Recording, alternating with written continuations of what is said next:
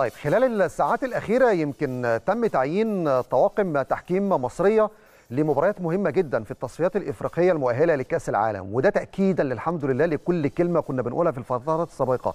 الفيفا بيعتمد على مين؟ الكاف بيعتمد على مين؟ كل كلمة قلناها في تعيينات الحكام المصريين للمباريات الإفريقية بتتم من أول كأس الأمم سواء في الكوت ديفوار أو حتى في المباريات المهمة سواء في تصفيات كأس العالم أو حتى في التصفيات الإفريقية قبل كأس الأمم في الكوت ديفوار لو هستعرض معاكم أبرز التعيينات اللي تمت في الساعات الأخيرة من الاتحاد الدولي بعد إرسالها من الاتحاد الإفريقي. لو نبدأ كده بالجولة الثالثة من التصفيات كأس العالم مباراة مالي وغانا ماتش مهم جدا وصعب جدا يوم 6 يونيو في الشهر المقبل. المباراه هيديرها أمين عمر الحكم الدولي مع أحمد حسام طه مساعد أول محمود أبو الرجال مساعد ثاني أحمد الغندور حكم رابع. ركزوا جدا يعني مع الطواقم دي لأن دي الطواقم اللي ممكن تشتغل كأس عالم في أمريكا 2026 لو الأمور مشيت بنفس السياق. نروح للمباراة الثانية ودي المباراة اللي هتتلعب في الجولة الرابعة. مباراة جنوب إفريقيا وزيمبابوي. يوم 11 6 مباراة صعبة جدا أيضا في جوهانسبرج. هيديرها الحكم الدولي محمد معروف معاه سامي هلهل يوسف البساطي والحكم الرابع محمود ناجي. المباراة الثالثه هتبقى أيضا يوم 11 6 في الجولة الرابعة وأيضا مباراة قوية جدا أنجولا والكاميرون. هيديرها الكابتن محمد عادل معاه مساعد أول أحمد توفيق طلب مساعد ثاني هاني عبد الفتاح والحكم الرابع الكابتن محمود البن. لفت انتباهكم حاجة مهمة نفس المجموعة اللي كانت بتدير في كأس الأمم أمين عمر محمد عادل محمد معروف. دي الحكام الأساسية اللي بيعتمد عليهم الاتحاد الدولي والاتحاد الإفريقي ونسب توا... نسب تواجد طاقمين في كأس العالم 2026 هيكون من الطواقم دي. مع وجود محمد عادل لو معاه الشاره الدولية للفار في كأس عالم 2026 مع استمرار محمود عاشور لو فضل ل 2026 حكم فار أيضا في الولايات المتحدة الأمريكية. تاكيدا لكل كلمة بنقولها في هذا الشأن الأيام بتثبت لحضراتكم بالتعيينات اللي بتتم من الاتحاد الدولي والاتحاد الإفريقي. طيب نروح بقى للشأن التونسي. والاستعدادات هناك متواصلة ومستمرة على مدار الساعة بالنسبة للأشقاء في تونس بشأن مباراة الترجي والأهلي اللي هتقام يوم السبت اللي جاي الساعة 10 بتوقيت القاهرة.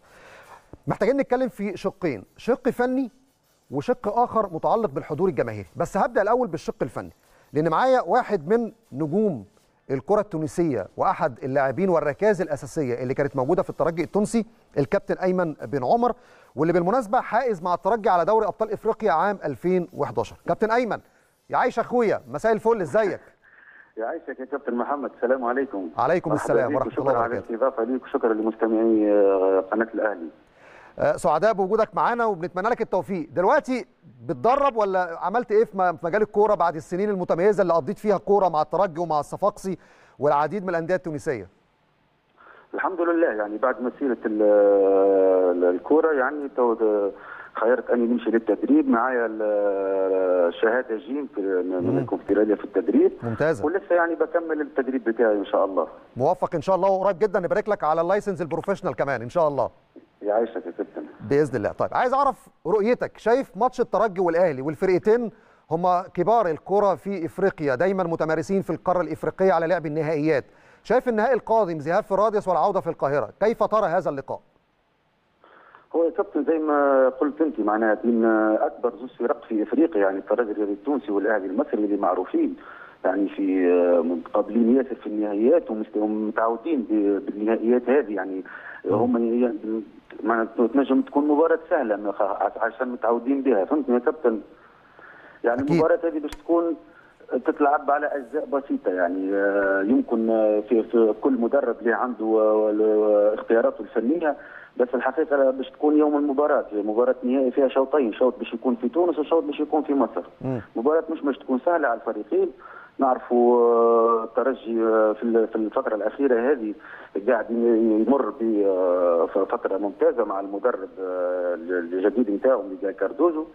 والأهلي كمان يعني بعد المباراة نتاع مازندي كان فاز في الدوري في المباريات الأخيرة اللي في الدوري المصري. كما قلت لك صراحة يعني زوج فرق معتادة بالنهائي هذا زوج فرق باش تكون جاهزة بنسبة 100% المباراة هذه اللي باش تلعب على أخطاء بسيطة حسب ما نشوف أنا الفريق اللي باش يكون مركز طيلة المباراة كاملة مع الوقت الإضافي هو راح يكسب الشوط الأول بس يعني في شوط ثاني. وفي عامل إيجابي للترجي اللي هو في أرض ميدانه. مع جماهيره مع الثقة اللي واخدينها مع الترشح للكأس العالم للأندية. يعني في حاجات مميزة ويبقى دائما زي ما قلت لك يعني المباراة هي تتحسم يوم السبت إن شاء الله. يعني في في واقع بتاع ميدان نشوفه إن شاء الله. بإذن الله. طيب لفت انتباهي وأنا بتابع كده مباراة الترجي يا كابتن أيمن إن الترجي التونسي مع كاردوزو تحديدا ما غيرش في التشكيلة الأساسية ولا حتى اللعيبة اللي موجودين على بنك الاحتياط سواء في تونس أو في بريتوريا في مواجهة سان داونز. يعني نقدر نقول هو مستقر على العناصر اللي معاه 20 لاعب في أهم المباريات دلوقتي. ما بيغيرش خالص. هو يعني ماشي زي ما قلت نقولها بالفرنساوي. on change pas équipe qui gagne معناها ما نغيرش فرقة بتربح.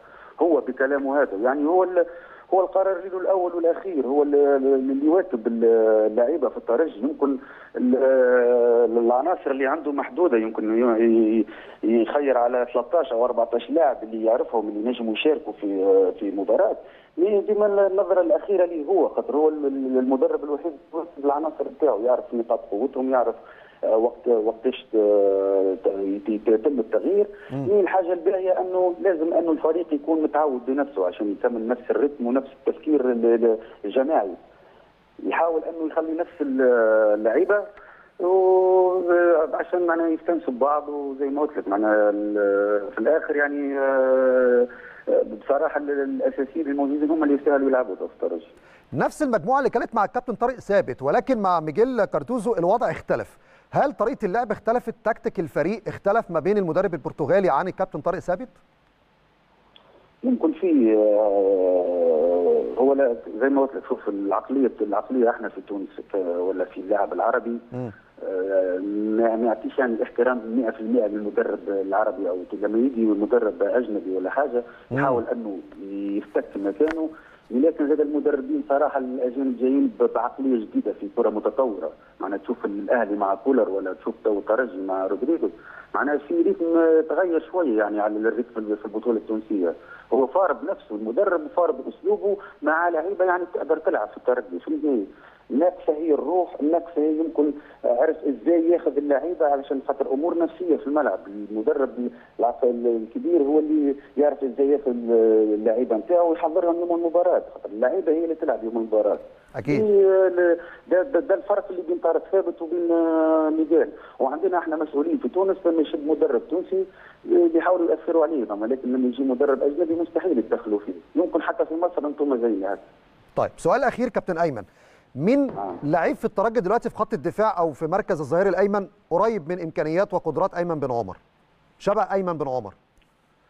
والله في كثير يا كابتن. أنا الحمد لله ما أنا تعديت المرحلة نتاع ثلاث سنوات في الترجي التونسي وقبلها كنت مع الأهلي مع نادي رياض الصفاقسي التونسي. م. ولعبت ضد الأهلي يعني عملت مسيرة ممتازة راضي بها.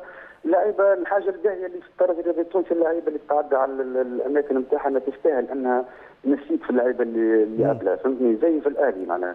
شوف ما شاء الله لعيبة اسامي كبيرة وكل يوم يمكن حتى زي دلوقتي معناها بيخمموا في علي معلول ومن حيجي بعده لا ما تخافش الأندية الكبار زي الأهلي زي وزي الترجي وزي صفاقسي التونسي وزي الزمالك يعني يمكن نحاول أذكر الأسامي الأندية الكبار يعني ما فيش لاعب يفضل معناها بتخمن إنه في لاعب تجيب لاعب ثاني ما خير منه معناها كابتن فهمتني؟ فهمتك. حبيبي يا كابتن أيمن شكرا جزيلا ليك وسعداء جدا بمداخلتك على مباراة الأهلي والترجي والذهاب النهائي الإفريقي. طبعا قدامنا صورة الكابتن أيمن بن عمر جيل كان تاريخي جدا في ثلاث سنوات شارك فيها وحصل مع الترجي على دوري الأبطال عام 2011 طيب أروح بقى الخبر مهم جدا.